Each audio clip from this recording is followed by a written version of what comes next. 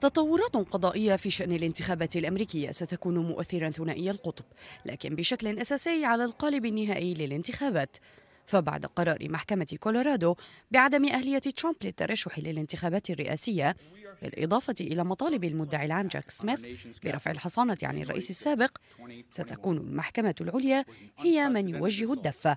أما ترامب فقد يكون أمام أفق انتهاء حياته السياسية.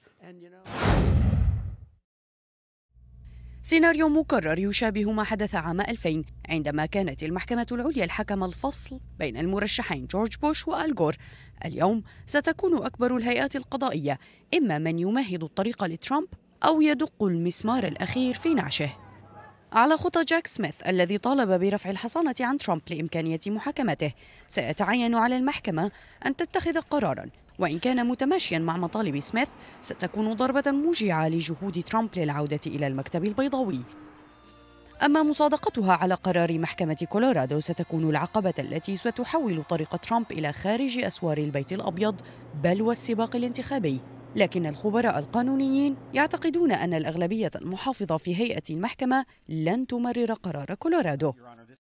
سننسحب من الانتخابات التمهيدية إلى عملية حزبية صارمة من شأنها أن تسمح لناخبين باختيار دونالد ترامب إذا أرادوا ذلك. سيناريو هو أحلى الأمرين سردته البوليتيكو يبدو الأكثر منطقية ضرب قرار محكمة كولورادو. سيسمح للمرشح الجمهوري بمواصلة السباق الانتخابي. ولكن أيضا تأييد حجة سميث التي ستقود ترامب إلى المحكمة إثر رفع الحصانة من الملاحقة القانونية ما يضع مستقبله النهائي بأيدي الناخبين الأمريكيين. إيفا عمر العربية. لمتابعة المزيد من الأخبار والبرامج والقصص الإنسانية والوثائقيات والتقارير الإخبارية لا تنسوا الاشتراك في قناتنا على يوتيوب الضغط على زر الإعجاب وتفعيل جرس التنبيهات.